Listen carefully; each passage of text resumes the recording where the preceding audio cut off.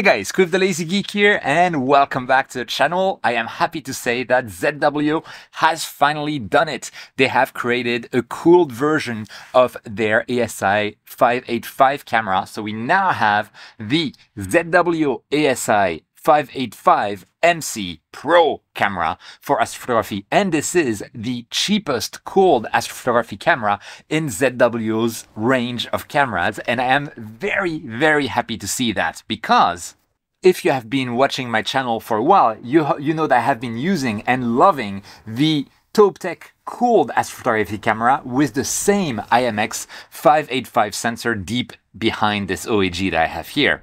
And I love that camera so much that I've been using it almost exclusively despite its tiny sensor. And even though I have an APS-C size sensor from the same manufacturer, it's also a cooled astrophotography camera. It gives me a much better field of view. But for some reason, I've just been using this rather than the APS-C size sensor. So knowing that ZWO finally was making a cooled version with the same sensor, so that ZWO users with, for instance, the ZWO ASI Air control system are not left behind makes me really, really happy. And so I have used this camera on the Bode Galaxy together with the Cigar Galaxy is I think the name of the, the galaxy next to it. Uh, using my Newtonian telescope that I have here in the background. And this actually gave me pretty much the perfect framing. So I'll show you the results during the video, so of course stay tuned. But first, let's talk about the specifications of the camera. So I am currently on ZWO's website and we have in this, this camera and you can see the price. The price is 600 US dollars. And for a cooled astrophotography camera, that is really cheap. But let's look at the actual specifications. You can see that the sensor is small. It is 1 over 1.2 inch sensor with the uh, 11 millimeters per 6.3 millimeters dimensions. So this is even smaller than the ASI 533 MC Pro, which costs a couple of hundred dollars more. But what makes up for that is that we do get a good resolution, and especially we get small pixels. You can see the pixel size is 2.9 micrometers. At the same time, we're getting a very docile sensor with no amp glow, meaning that it is very easy to calibrate. And that's why I see this sensor and I see this camera as pretty much like almost a replacement for the ASI 183 MC Pro, which also has a fairly small sensor with tiny 2.4 micrometer pixels, but slightly older sensor tech. And talking about sensor tech, by the way, you can see on the screen that we get up to 47 frames per second with this camera. And so that means that this camera is suitable, like very much suitable for both deep sky astrophotography, but also planetary astrophotography. And in fact, ZWO had released an uncooled version specifically for planetary, lunar, and solar astrophotography. So it's like almost as if its secondary purpose is for deep sky astrophotography, but I've actually only used it for DSO, including my, my ToupTek camera there with the same sensor. I've never used it for planetary, even though I know it can be. It's just my specialty is DSO and I love deep sky astrophotography. So with that, let's look a bit at the field of view that you can get with various telescopes using this camera, because as I mentioned, it is a small sensor. And by when you have a, a small sensor, that means you have a limited field of view. At the same time, small sensors are somewhat easier to use because you don't need to have perfect optics and the stars in the corners, they will always be good. So it's like, it, it is a, a trade-off. I'm currently showing you the field of view as it would be with the Bode and Cigar Galaxy. And this is actually exactly the field of view that I used to capture those two galaxies together. And this is using a, a focal length of 512 millimeters, which is what my Newtonian telescope up there has. If I look at another uh, galaxy like M51, you can see that it's slightly small in this sensor, but it is a good fit for that sensor in terms of a field of view. Especially with the small 2.9 micrometer pixels compared to like the very traditional 3.76 uh, size pixels on like the IMX571 or the uh, IMX533 sensors. So this is already, we can see it is going to be a good match for galaxies of like medium apparent size. And even if I look with my Newtonian telescope at something like M33, the Triangulum galaxy, which is starting to get a bit larger, it's actually a perfect fit for our field of view with that Newtonian telescope. So what about if I were using like a small refractor, let's say the Red Cat. So let's say my focal length is roughly 250 millimeters. Now you can see on M33, this is actually still really good, but on something like M51, uh, it starts to give you a bit too small. I mean, the small pixels will definitely help, but this is, I think, very interesting to see. That said, if you're using a small refractor like the Red Cat, where you're going to be good is larger objects, like M42 with a small refractor fits really, really well in that particular field of view. If we go to even something larger like M31, that's where we start to get near the limit. Still, it is a very good field of view and I could rotate my sensor to get something a bit better. So I could frame M31 like this and we are still able to fit it in the field of view. Although with dithering, etc., we might get a bit of cropping going on. There. And staying on M31, if I get to my Newtonian telescope, you can see that now we are just like concentrating on focusing on the center of the galaxy. So our field of view starts to simply not be enough depending on what we want to do. And if I were to go to like 800 millimeters focal length, that's where like M31 is completely not very good for this. But something like M51 would be actually very valid for like an 8 inch Newtonian telescope with a focal length of 800 millimeters, with, as you can see, a very good actually field of view for that particular galaxy. So that gives us a very good idea of the field of view and the uses of such a small camera sensor in a really cheap astrophotography camera. What about things like read noise and full well depth and dynamic range of the sensor? If you have no idea what those statistics are, by the way, just know that higher full well is better, lower read noise is better, and dynamic range is basically a combination of those two factors. Higher dynamic range is better. If you really want to learn more about that, I have some videos on the topic. I will put a link up above and also down in the description. So we can see that the ZWO camera has an approach where uh, the read noise will suddenly get lower at gain 252. This is when we go from the low conversion gain to the high conversion gain. And so we get a much lower read noise, while at the same time we have also a lower full well depth. But as a net, it basically increases the dynamic range from 9.5 at that range, at that gain to 11. And if you look at another camera with the uh, IMX585 sensor, so the uh, camera, I think it's the Uranus uh, C Pro by Player One, and they have the same sensor, but they do that switch from low conversion gain to high conversion gain at unity gain. So earlier, slightly more to the left of ZWO. ZWO has decided to do it slightly more to the right. And that means that unlike the ASI 533MC Pro, where I can say like definitely you should always use gain 100 and stop thinking about it, it may not be the case for this camera. If you're in a fairly dark area, like let's say Bortle 5 or better, so you're in like in, in suburbs or darker areas, you may indeed want to always use this camera with a gain of 252 because then you minimize the read noise, which in your darker skies, you will have more trouble overwhelming. Or if you're shooting in narrowband, even from the city, like here in Tokyo, it also might make sense to have this gain to 252 to really take advantage of the lower read noise while still having a very respectable dynamic range of 11 stops.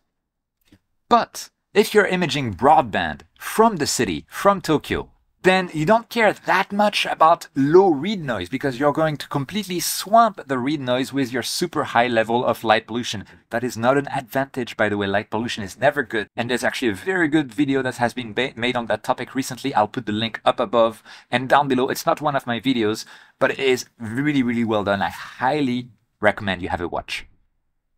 But yeah, going back to my light polluted city, uh, I'm in Tokyo, so I don't really care that much about low read noise. Let's look at what we can get uh, with gain like 50. We have a fairly high read noise of 5.5 electrons, but again, it's nothing in broadband compared to my light pollution. That gives us 12 stops of dynamic, ra dynamic range. So I have twice as much dynamic range, one full stop more dynamic range than at gain 252. So by moving the point at which we switch between low conversion gain and high conversion gain to the right, ZWO kind of like gives us this choice. It has drawbacks as well. Because in the high conversion gain mode, you can only have up to 11 stops of dynamic range. The player one camera, on the other hand, we're looking at their uh, charts there, can have up to almost 12 stops of dynamic range. In the case of the Player One camera, we're getting back to somewhere where I would always recommend to use the gain that gives you the high conversion gain. Not so with the ZWO offering. Let's look quickly at another spec as well. This is for this particular sensor, so it is true for all versions of this uh, sensor. It is the uh, quantum efficiency, which is quite high. And in particular, you can see that in the infrared, we still have very high sensitivity for that sensor in infrared. So if you're using uh, a filter like the IDAS GNB filter for galaxies that I've also featured on the channel in the past, this is a very, very good sensor to pair it with. I will, by the way, quickly go back to the uh, change between low conversion gain and high conversion gain. What about my ToupTek camera? When does it switch? Well, the answer is that in Nina, it doesn't. You can choose across the full gain range whether you want to be low conversion gain or high conversion gain. So you don't have like that weird step in the middle. You just choose and you have full power. That's actually my preferred approach. But the ToupTek version of this camera is $50 more expensive and you also have less flexibility with the back focus distance that it consumes. The ZWO camera by default has 17.5 millimeters of back focus, but simply by removing that ring adapter in the front, we can get it down to 6.5 millimeters of back focus, which is really tiny. And it's great if you're using something like a camera lens where your back focus is very limited. So definitely advantages and drawbacks per camera. So how have I attached this camera to my Newtonian telescope to make it work? Well, it is a ZWO camera, so you can simply use the ZWO adapters. There are adapters that are available with the camera that gives you immediately the proper 55 millimeters of back focus distance, or you can use accessories from ZWO. Here I have the ZWO filter wheel with a UVIR cut filter. This is what I used. And I also have the ZWO OAG with a ZWO 120 mm Mini for guiding. And I can simply screw the ASI 585 MC Pro into this and I am good to go. And this is compared to the, the exact same thing but in ToupTek blue flavor. So do you prefer red or blue? but really I'm really happy to see that because now ZWO ASI Air users have this budget cooled astrophotography camera alternative available to them and this is awesome. By the way, I will have all of the links, of course, down in the video description if you're interested in getting this camera or just having a look at the detailed specs. Okay, now we're gonna go inside and look at my results on the Bode and Cigar Galaxies. At the time, just because I know everyone wants to use high conversion gain, I used gain 252 and I used 30 second exposures with my f3.5 telescope here in Tokyo. And already I could see the histogram like move towards the right. So I was a bit filling up those uh, those well in the uh, in the pixel. Something to keep in mind. And we'll also, while I was using it, something I noticed very interesting between the cooling system of the ZWO camera compared to my ToupTek camera with the same sensor is the ZWO camera is much less aggressive. It will progressively ramp up to your target temperature. It has no problem reaching it. So I had set my room temperature to 24 degrees Celsius and the target at minus 10. It reached it within five minutes. The ToupTek camera goes full blast immediately. and in the same conditions, reached that target temperature within like 30 seconds to one minute.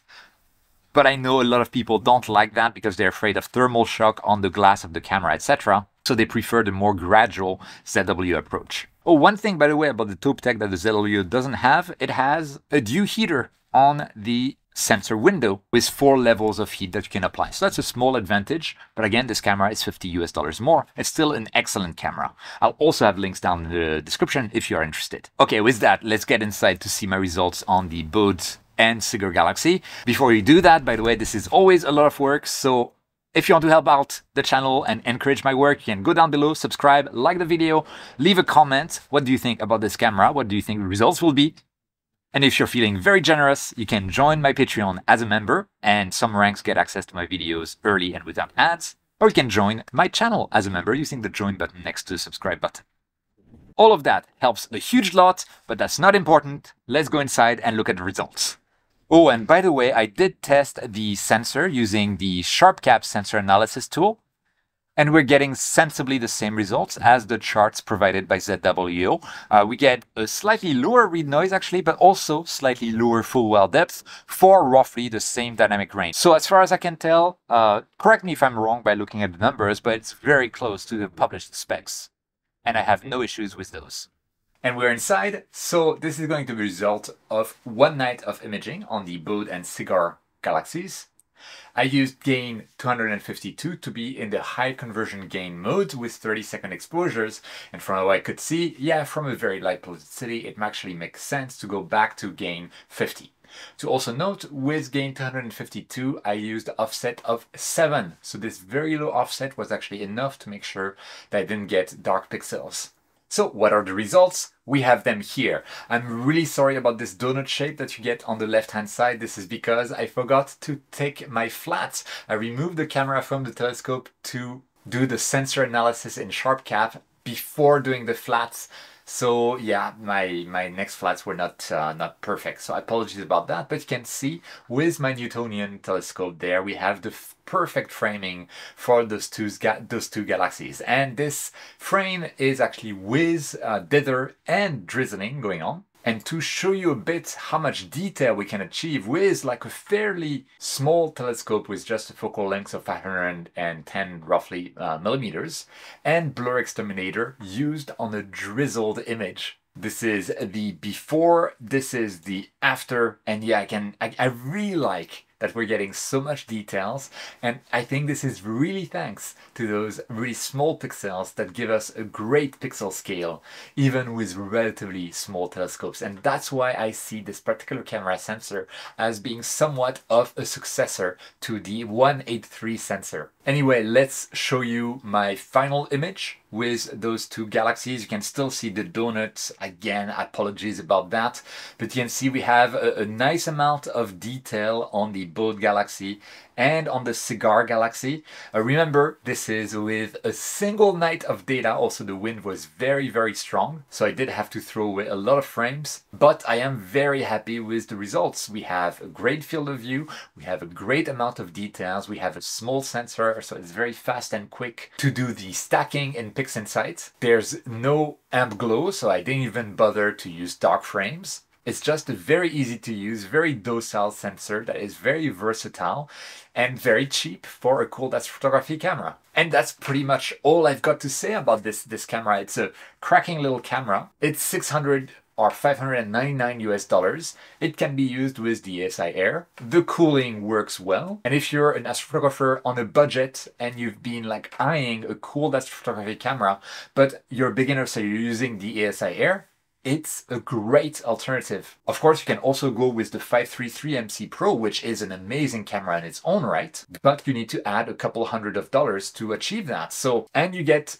bigger pixels, so slightly less good of an image scale for small refractors and the like. By the way, I didn't notice any vibration issues with the fan, because we know that's been a problem in the past, but at least with my sample of the camera, I didn't notice any problems. And that is my conclusion. If you want to have fun with a small, cheap, cool as fluffy camera, go for it. And if you think the sensor is too small, it doesn't have enough full well depth, whatever, don't go for it. But I personally really, really like this sensor and thus I like this camera. And if you want to support me, by the way, you can join my Patreon, join the channel as a member, subscribe, like, let us know what you think about this camera, or anything else for that matter. You can ask me any question you like. I don't know if I can answer, but ask away. But more important than all of that, don't forget, whenever you can, to look up at the stars, and I'll see you next time.